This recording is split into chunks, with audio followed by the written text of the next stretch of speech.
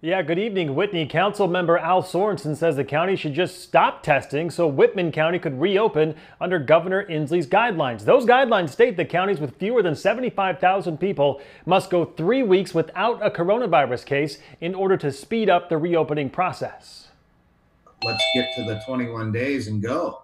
Uh, you know, this right at the moment, the the opening of uh, Idaho and Governor Little uh, moving forward with some things uh, is even going to cause a greater problem for us than we've had in the past few months with our small businesses. You know, the drainage to Moscow and being a border state uh, has not been that big of a deal right at the moment because they've been shut down also. But now they're opening back up.